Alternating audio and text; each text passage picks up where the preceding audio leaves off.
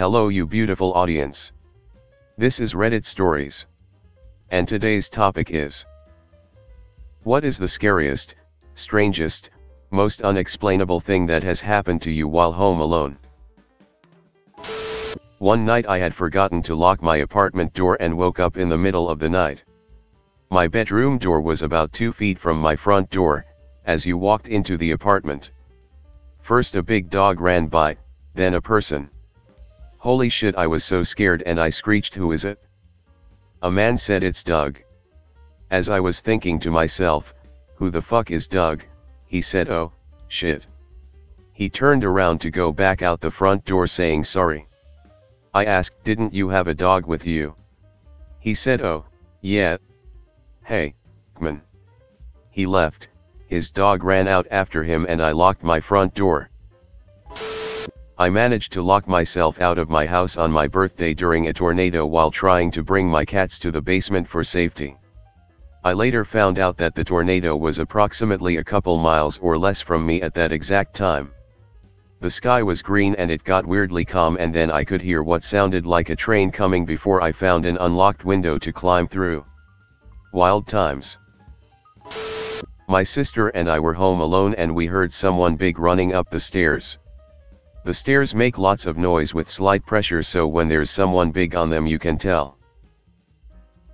I went out of my room to check but saw no one anywhere and my sister also came out of her room and she asked if that was me I said no and we both looked around to see if there was anyone but found no one in the whole house. We were confused and called our parents and just waited until they got back and that was that. Not really home alone but when I was little I remember as my dad was taking us to bed, I ran up first to sneak behind my bedroom door. The plan was to jump out and scare my brother before bed, as my bedroom was just opposite the bathroom and he had to walk past it to get to his room. However, behind the bedroom door was two strange men hiding.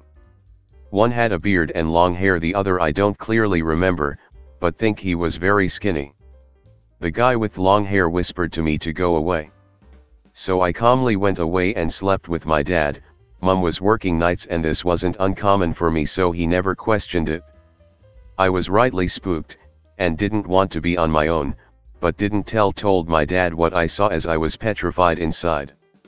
Straight up thought I'd been told off by some creepy ghosts. We were robbed that night. My brother also woke up that night to go to the bathroom and saw the downstairs light on from the staircase. At the time he thought it was our mother, and would normally if he got up early run down and see her. For some reason he didn't go downstairs that night and instead hopped in bed with me and our dad too. When my mum came home the downstairs was trashed and she was terrified something happened to us. She ran upstairs in a panic and found us all in bed safe and sound. Home insurance was able to salvage most of the losses, and we got a dog not long after that as a deterrent for thieves which growing up never had another issue again. So I guess not really unexplainable but strange slash scary story. Back in high school I'd usually be up all hours of the night playing games. I had a large dog at the time that would sleep in my room at night. It was 2 am and I was finally headed to bed but my dog wasn't with me so I ventured out to find him. I made my way across the house to the kitchen slash dining room combo. I'm standing in the only door frame that leads to that side of the house. We had an island in the kitchen with a stool that the junk mail was usually kept on. So I walk up, call for my dog, and see him walk from behind the island to behind the dining room table set, knocking all the junk mail down as he did so. I huff and flip on the light, no dog.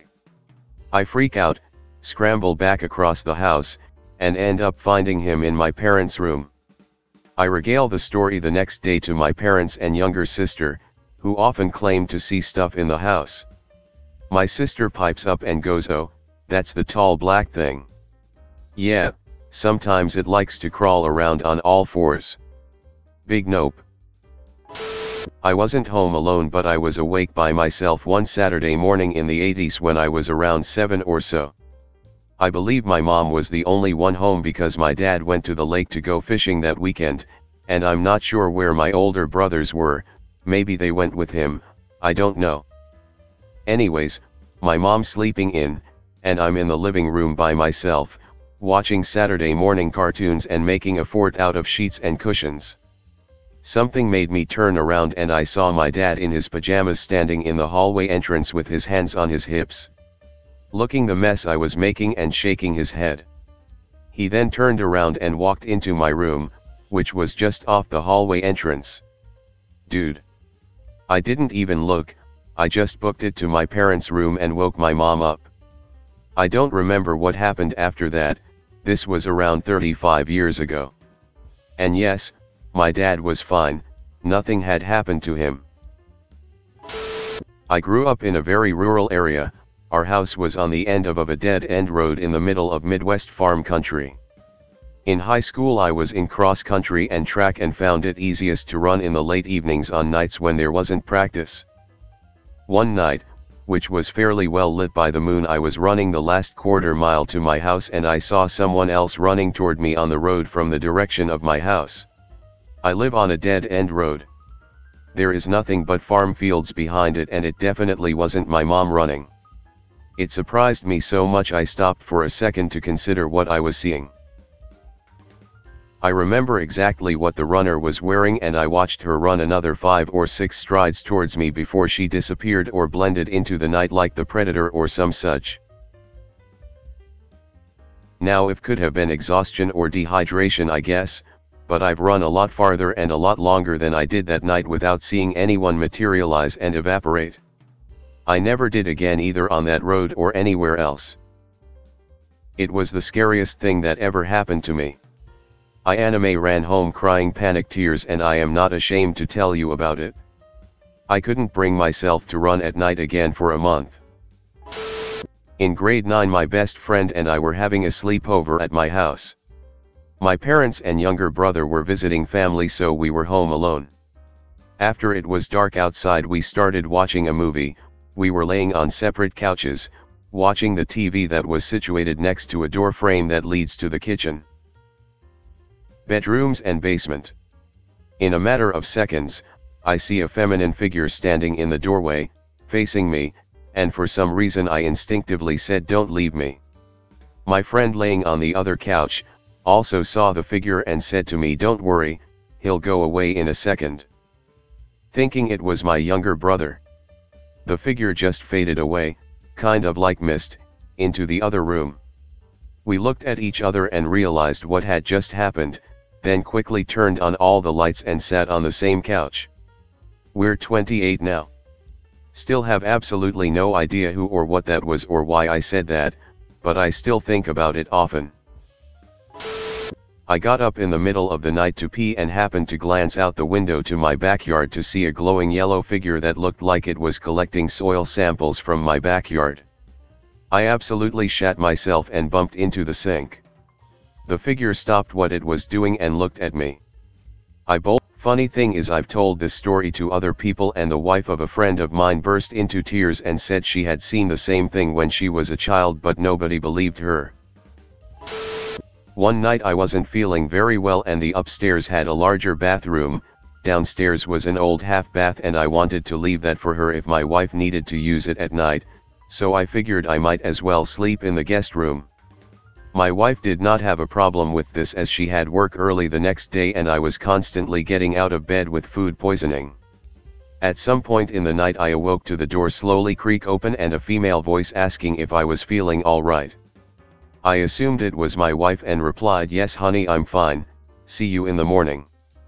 But the door never closed and no footsteps went down the stairs as I would have heard them in this 1800s home original wood floors and stairs. We were alone in the house that night. I was in my college apartment and my roommate had just moved out. Her room was directly across from mine with the living room between us. I had cleaned out her room and then closed the door. I left my bedroom door open when I went to take a shower one night. My bathroom was connected to my bedroom. I also happened to leave the bathroom door open. While I was in the shower, I thought I heard a woman talking. I had never been able to hear my neighbors talking before, but figured they just happened to be talking in their bathroom which shared a wall or something. When I got out of the shower, I was surprised to see a black void when there should have been the bright white closed door of my old roommate's door reflecting in the moonlight. I figured I just forgot to close the door and went and closed it. The next night I once again went to take a shower and left my room and the bathroom door open. But this time I checked to make sure the other door was latched and the front door was double locked. When I came back out I once again saw the void with the door wide open. I slammed my door closed and locked that shit so fast. I convinced myself there was a logical explanation, so the next night I once again checked all of the doors and then closed my bedroom door.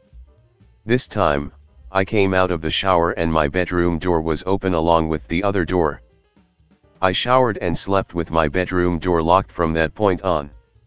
I guess this took place over several nights home alone and I may not have even been alone. Still the creepiest thing that ever happened though.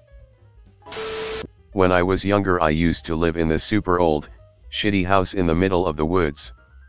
There was a small clearing, with an average sized yard and the rest was thick woods. One night I was walking up to our gate to go inside and I seen a very tall figure looking in my bedroom window.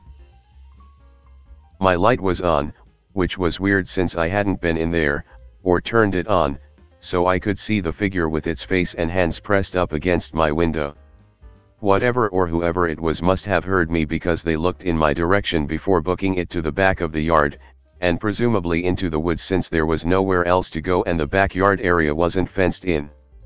I never slept in that room again. Not home alone, but upstairs alone. I saw a doppelganger of my mom a few years back, and I think she heard mine. I was sitting in my bed, and looked up when I heard her coming up the stairs. She walked by my door, looking straight at me with no expression, and walked into her room and closed the door. I'd said hi as she walked but figured whatever, she didn't hear me or maybe she was getting something from her room. Then, about five seconds later, she yells up the stairs from downstairs and says did you call me, and I am not ashamed to say I freaked the fuck out. She came upstairs, looked down the hall and said did you close my door? I didn't, and neither did she. She never closed that door because one of our cats primarily lived in her bedroom and so she always kept the door open so the cat could come and go as she pleased. And it wasn't just closed as if the wind had shut it, it was fully closed and the windows were shut. Ma said she had very clearly heard me yell hey mom, come here from upstairs. I had done no such thing. I'm never entirely sure what I believe and what I don't, but I was totally sober, not tired, and it wasn't some movement out of the corner of the eye thing. Many years ago when my now 28-year-old daughter was still an infant me, her, and our dog were at the apartment we were living in at the time. My wife was at work, I was sitting on the couch watching TV, my daughter was asleep on a blanket pallet on the floor. And the dog, a German Shepherd slash Wolf hybrid mix, was about 10 feet away laying in the doorway between our kitchen and the living room area. At any rate, I was watching whatever it was that I was watching when all of a sudden, Thor, our dog, starts with this low-level, guttural growling. I figure that he had heard someone in another apartment or walking by through the parking lot and don't think much of it. As a few seconds pass, I notice that it's getting, louder and I can see out of the corner of my eye that he has lifted his head up off his paws, his ears are perked, and he's looking up at the ceiling over where my daughter was laying. I look up, don't see anything, tell him to knock it off. Right after I tell him to knock it off, he jumps up, starts circling my sleeping daughter, literally walking around the pallet she's laying on, and growling more and more intensely even stopping once and outright snarling and snapping his teeth all while staring up at the ceiling. After about two minutes of this, and me having no clue on what to do since I can't see anything and I do not want to reach for my daughter with him circling her like that. He laid down next to my daughter, rested his head on her back, and stayed there for almost an hour, still intently staring up at the ceiling and occasionally growling. To this day, I have no idea what the hell was going on or what he saw slash sensed, but it was extremely creepy to me. Not me, but my dad and sister. My sister's room shared a wall with the living room and the couch was against this wall. My dad and stepmom would knock on the wall if they needed something. One night, my sister is doing her homework and hears a knock on the wall, so she shouts. What? No answer. This repeats several times before my sister gets pissed and storms into the living room shouting, What? The living room was empty as my dad and stepmom had left 30 minutes prior to go on a walk. There was a basement in the house that always made everyone feel uneasy, but it was great for storage. The dogs refused to go down there. My dad was grabbing something from the basement, and while going back up the stairs he had this sudden feeling of dread. The dogs started barking like crazy so my dad started running up the stairs. When he closed the door at the top, the dogs stopped barking and he felt relief. My sister was home alone and was walking down the 40-ish foot hallway when she heard footsteps behind her. She looked back to see nothing, but when she started walking again the sounds started again. She began running and the footsteps picked up the pace as well. She ran out of the front door and to a friend's house and refused to be home alone in that house ever again. Was 17 years old left alone from Thursday to Sunday with our family's dog, who was pretty small starting to have trouble climbing stairs in his old age. I'd be working every morning while my parents were out of town. Came home from my shift on Friday and everything about the kitchen table was a mess. Napkins were taken out of the holder, all of the mail was thrown on the floor. Salt and pepper shaker on the other side if the kitchen but together, and one of the chairs pulled far away from the table. Our dog's never done anything like this, and I'd be especially surprised if he was even capable of climbing on top of the table. I reset it all. Saturday, I come back to find the exact same configuration. Don't have the pictures anymore, but every detail was just as I found it the day before.